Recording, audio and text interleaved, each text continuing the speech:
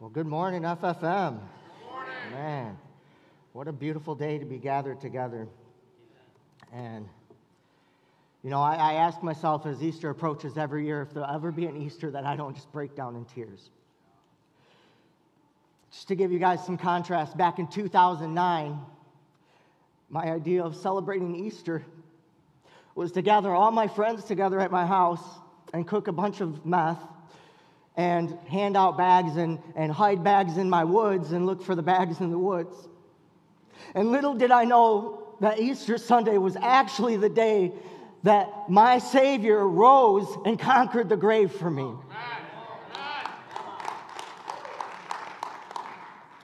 And I'm a little bit extra emotional this Easter because back then, people used to come from all different counties to gather at my house.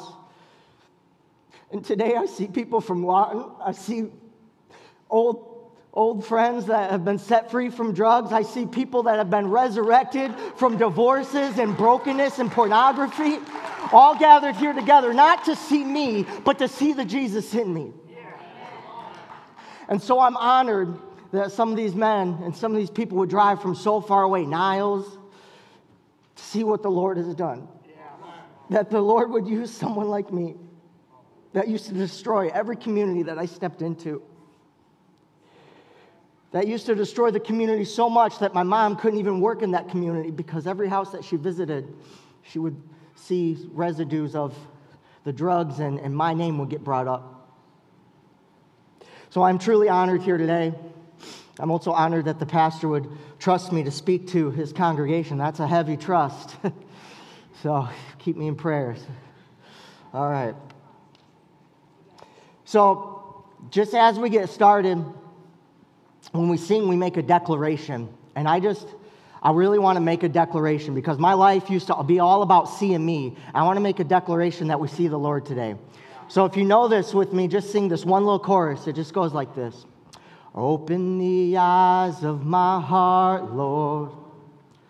Open the eyes of my heart. I want to see you to see you high and lifted up, shining with the light of your glory. Pour out your power and love as we sing, Holy, Holy, Holy.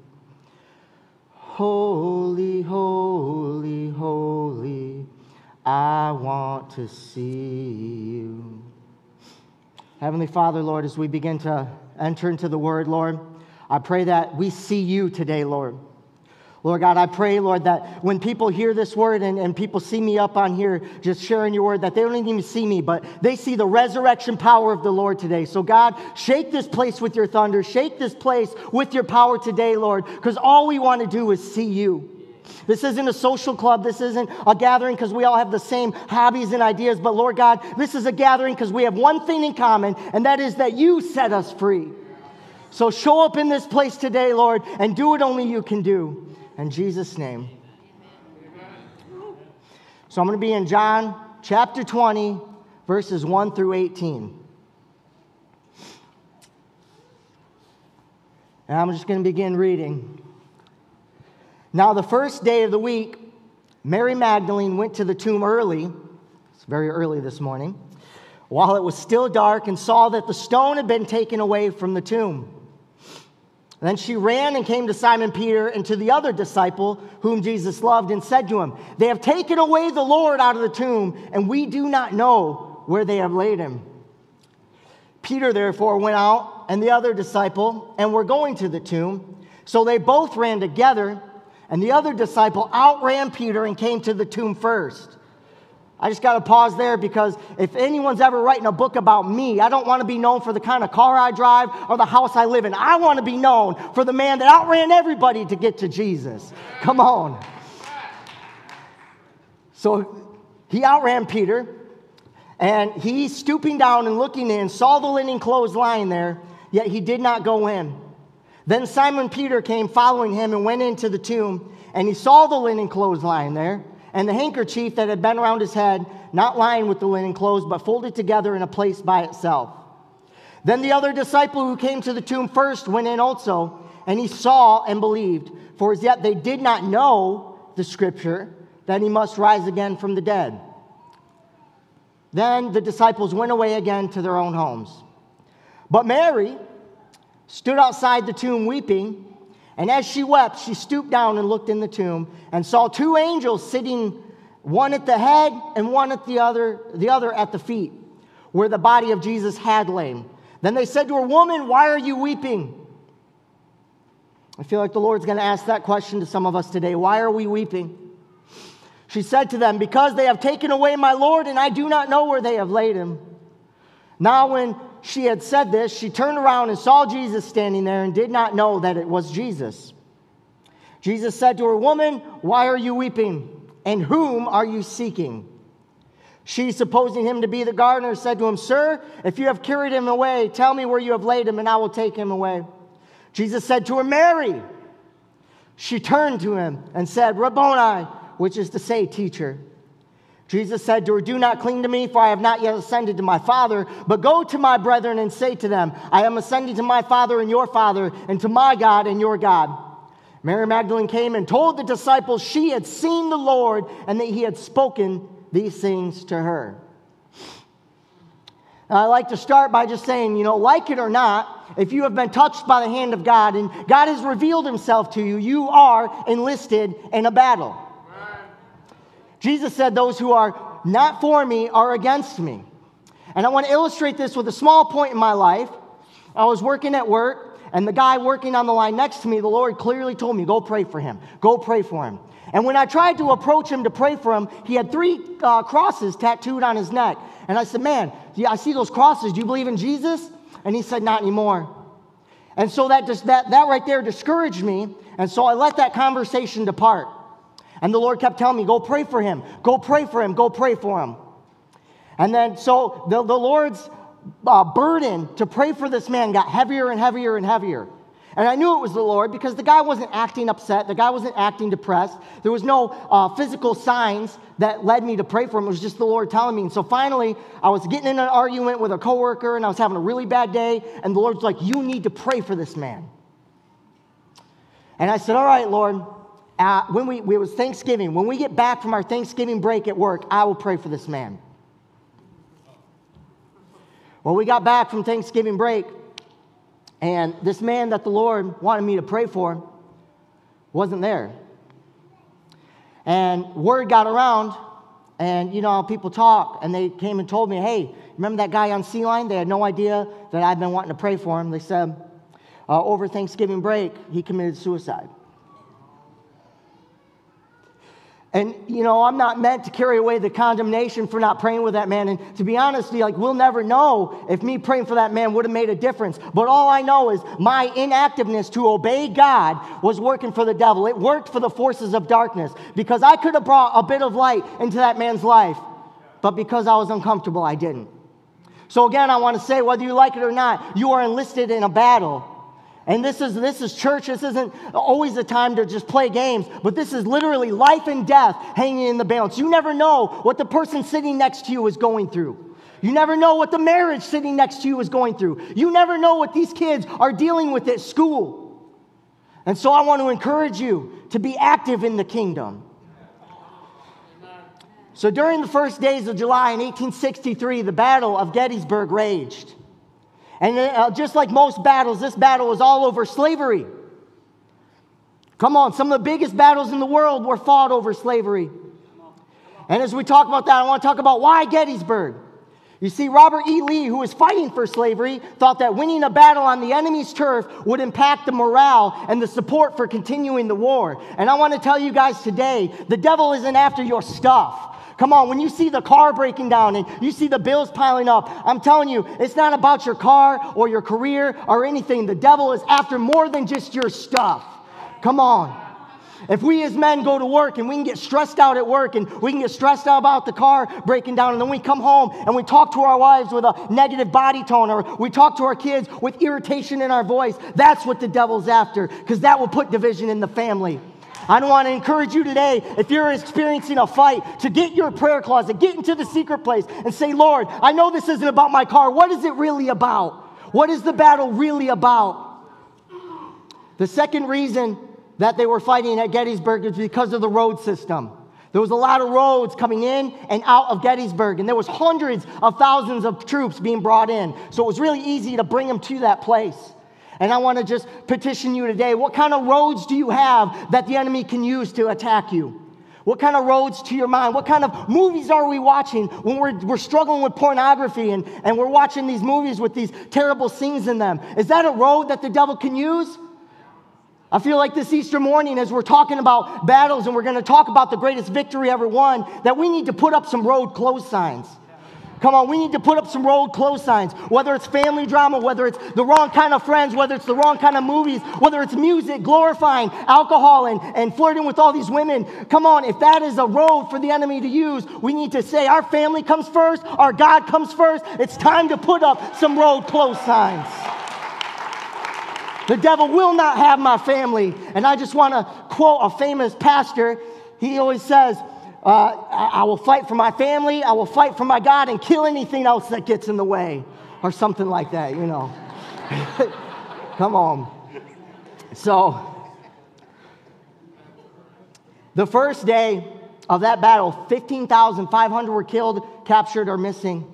The second day was even bigger 20,000.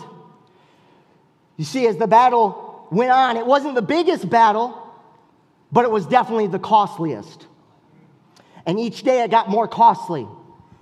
Uh, so I want to tell you guys today what battles are you fighting that are so costly? What battles are we fighting with our prodigal son and, and, daughter? Like, are we fighting with them over small battles that are costing us the relationship? What about our husbands and wives? Are we fighting, having a battle over the, the laundry being on the floor, but it's costing us the intimacy? What battles are we fighting that are costing us? What little things are getting in the way? And the longer the battle, the longer the battle went on, the more costly it got. And I just felt like a uh, uh, stirring in my soul this Easter Sunday to tell you to embrace the resurrection power of Jesus Christ because these little battles are going to keep costing us. We got to put God first, we got to forgive, and we got to lay down our lives for our families. Come on. What little battles? And I want to talk about, we see different levels of effects. see, the Battle of Gettysburg affected hundreds of thousands of people. And so, you know, if you have a family member connected to that, you might celebrate or you might hear about it. But a lot of you, as I say Gettysburg, you might not realize, like, it might, oh, I might have heard about Gettysburg in high school. But the, the whole Civil War affected more people. And so we have a day once a year called Memorial Day that we get to celebrate that. Millions of people were affected from the whole Civil War. And we celebrate it. And then we go up to a bigger battle, the 4th of July or the Independence Day. Billions of people were affected. Democracy as we know it, the luxuries and freedoms we have, all of that we can see stem from the Battle of Independence Day. And on, on the 4th of July, because it's a bigger victory, it is one of the loudest celebrated holidays in the world, with $2.7 billion spent on fireworks, $1.4 billion expected to be spent on alcohol every year. And I would just like to uh, just tell you guys that without ever reading a history book, or without ever even going to school, you could walk around on the 4th of July and see the fireworks going off and see people stumbling around drunk. And without even reading about it, you would know that something great happened that day. It, you would be foolish to walk around on the 4th of July and say, man, there was never really a battle for Independence Day. Come on. Oh, and I want to tell you that 2,000 years ago on Easter morning, there was even a bigger battle waged. And because it was so long ago, some people in this world like to call it a myth or a legend. But just like you would never walk around on the 4th of July and say a battle never happened, come on, you would never walk around this great country on the uh, Easter Sunday and say a battle didn't happen. Come on. You can drive around all over America and even fly around the world if you wanted to on any given Sunday and find millions of people lifting their hands, celebrating the battle over death, hell, and the grave. So if you're in here today and you can testify that Jesus still does miracles and that he still sets people free and that he really is still alive and well, can you clap your hands and let this world know that the resurrection power of Jesus Christ is still working today? Come on. I'm talking about that marriage that never should have continued. I'm talking about the cancer that should have killed you. I'm talking about that addiction that should have buried half of us in this room. I'm talking about anxiety that plagued your mind. I'm talking about depression that never should have ended. I'm talking about these things that were defeated on Easter Sunday. Can we praise the Lord for victory? Come on. And I just want to petition the Church of America. We need to quit letting the world celebrate their sin more than we celebrate our families. We need to quit letting the world celebrate the clubs getting all crazy more than we celebrate a guy who rose from the dead and still touches drug addicts today, still touches families today. Come on. Whew. And just like our celebrations get bigger, this should be the biggest celebration of all time. Come on. So we celebrate today. But it wasn't always that way. We were trying to get up this morning, and my wife said, Man, didn't Jesus rise? And I don't have to, you know? I said, Oh, this is early. I'm like, All right. But on Easter morning 2,000 years ago, it was very different. They rose thinking their hopes and dreams had been killed. They rose with the memory of the man they loved. The man they walked with still hanging on that cross, bleeding from all points of his body.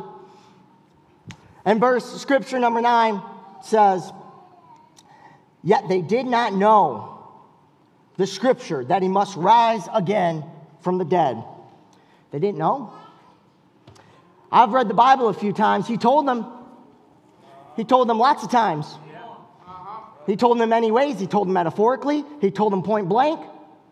But here it says they did not know that he must rise from the dead. The Greek word for that is eido. I can't really, I'm not David Campbell, I can't, you know, but it's, it's a Greek word meaning properly to see with physical, metaphorical sense, perceiving mentally, and it's like akin to, I see what you're saying. It's a deeper understanding. So they knew, but they didn't know. They're all standing, looking at an empty tomb, confused. You see, they had thought Rome was going to be overturned. They were under Roman oppression. Taxes were getting higher. They were getting just drained for everything they have. They didn't have all their religious freedoms. And their whole lives, they had been from the book of Genesis to the New Testament, they had been established as a nation. They turned away from God, got brought into captivity. The Lord saved them, brought them back, established them as a nation again, and then it would happen back and forth. So here they are under the Roman oppression again, thinking, man, I want to be a nation again. I want to be a nation. Come on. And they're looking around and, and they get prophesied about this king and then they see their king die. And they're just staring at that empty tomb. Where have you taken the body? What are you doing, Lord? Have you ever had a what are you doing, Lord kind of moment? They wanted to be a nation, but then their king died because they didn't know what he was going to do. Have you ever received a promise from God about your marriage? But every day there is tension, and instead of coming right home, maybe you drive around in circles, procrastinating, walking through the door with a knot in your stomach. And you're looking up at God God, what are you doing? Have you ever been told you've been reunited with your kids? But every court battle is looking worse and worse and worse for you. And you're saying, Lord, I'm following you. Lord, I'm getting right. God, what are you doing? Have you ever been promised by God that you would have a child and that you would finally get pregnant, but it ends in a miscarriage and you've already named the baby and you've already read them bedtime stories and, and you're looking up at God, God, what are you doing? What are you doing? Come on, have you ever had a child when they were young and they would be up here waving the flags and people prophesied over them and prayed over them and God promised you that they'd be following the Lord and now they're 25 years old and you don't know where they're at. And every time you can't get a hold of them, you're calling all the hospitals, checking mobile patrol to see if they're back in jail. And you're looking up at God, crying out for your prodigal child, saying, God, what are you doing? What are you doing, God? Amen. That was the picture of this Easter morning. Has ever God ever given you a promises about your finances? You're tithing every penny. You're giving every time there's an Easter offering. Every time you start try to start a business, it doesn't work. You're trying to break the generational poverty curses over your lives so your kids never have to work the way you do. And taxes are getting more, gas is getting more expensive, and, and groceries are getting more expensive. And you're like, Lord, you promised you would open up the windows of heaven. I've tithed every penny, I've given every offering. God, what are you doing? What are you doing? I want to get personal about my empty tomb experience. The day I got married, my daughter was prophesied to me. Now, my ex wife was on birth control, and we were not trying to have a kid, but the man who prophesied it, if he said it, you better put your money on it. This guy, I'm telling you, I've seen him prophesy cancer would get healed, and it was gone. Like, if he said it, it happened. So he said, You're going to have a kid within a year. And I was like, Oh. And sure enough, within a year, I had my daughter Lila. Come on.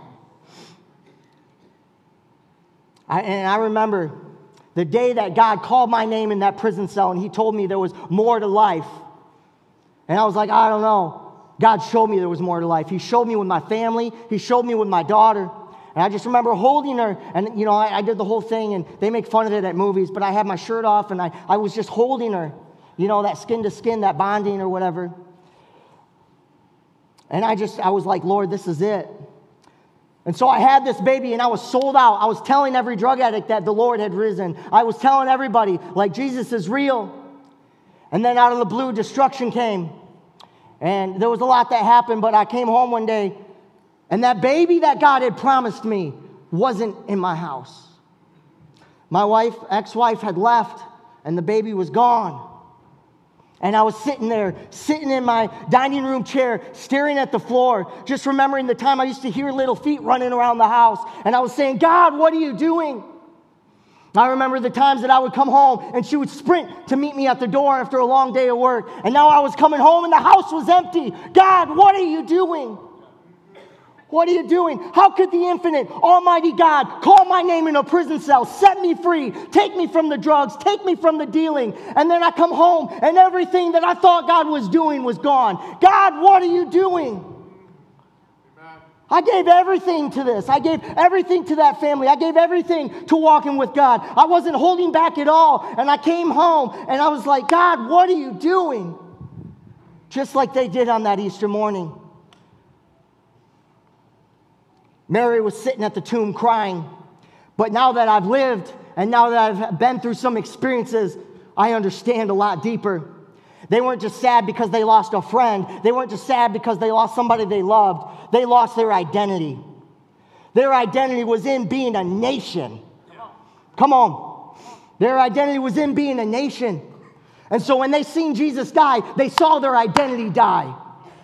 When my ex wife left and I came home and I didn't know where my daughter was and I didn't know where she was, my identity died. You see, when I got out of prison, I chased being a husband and a father more than I chased being a son of God. And if you're in here today and you're looking at your life and it's a little bit messy, I'm here to tell you that God wants to do something more than what you think He's doing. He wants to make you a child of God. He wants the kingdom of heaven to come. He said, Let my kingdom come, my will be done on earth as it is in heaven. He's doing something bigger than what you think. Come on. Maybe your business failed. Maybe you got laid off of work. Maybe you had a miscarriage, but you got to keep on going. Maybe you lost a sibling or a parent or a child or a grandchild. But I'm here to tell you, you are more than a mother. You are more than a father. You're more than a brother or a sister. You are a son or a daughter of God. And that thing you lost wasn't the end. Look at your neighbor and say, the tomb is empty, but it's not the end. Your missed goals are not the end. Your failed marriage is not the end. Your relapse is not the end. Come on. When the disciples came to the tomb, they were expecting to find a dead Jesus. I just want to prophesy to this crowd today When you go back to see that dead thing in your life or that mess in your life, expect the unexpected. Come on.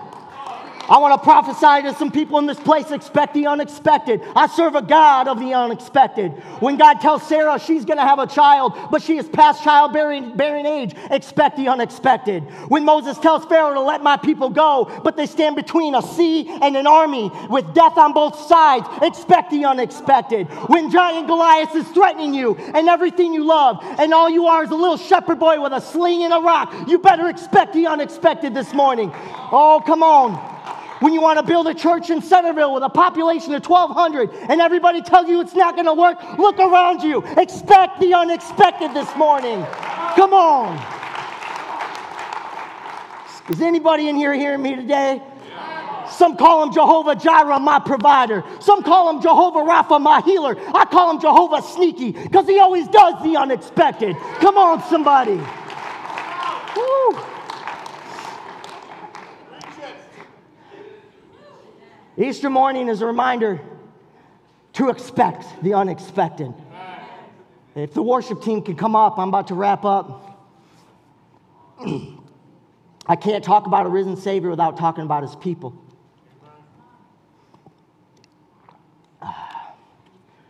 This goes beyond just you or me, my four and no more, my, my immediate family. This goes way beyond that. In verse 17, Jesus told Mary, Go to my brethren and tell them.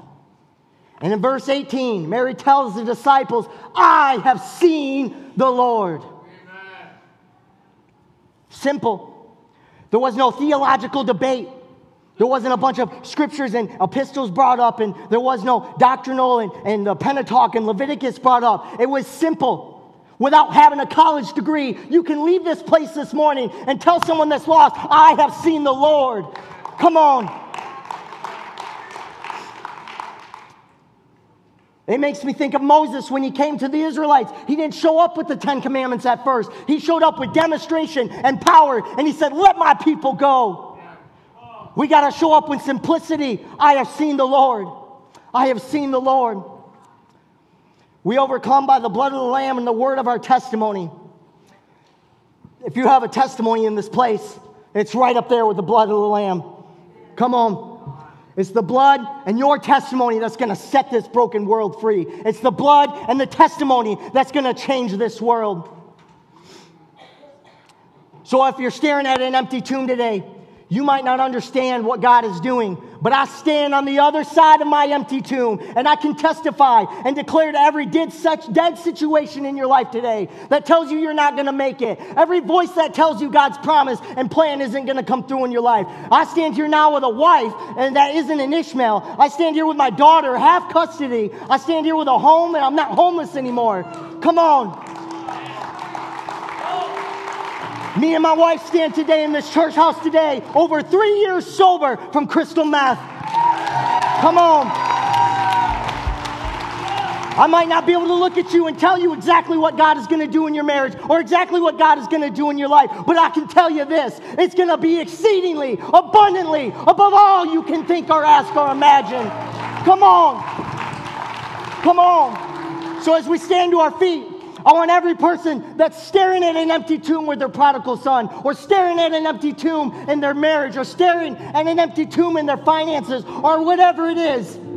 I want you guys to come down to this altar and we will pray for your empty tomb. We will pray for that miracle. We will pray for that breakthrough. And I'm here to tell you today, it's going to be better than just being a nation. God wants to make people sons or daughters in this place today. Not just so we can have church, but we, so we can walk outside of those doors and say, Thus saith the Lord, be free. Come on. There are 19 million kids living without a father. We need to tell them that the Lord is risen. 437,283 kids were removed by CPS from their parents last year. We need to do more than have church. We need to tell them that the Lord is risen. Around 27.2 million Americans battling with drug addiction, lost with kids in CPS. We serve a God that rose from the dead. We need to tell him that the Lord is risen.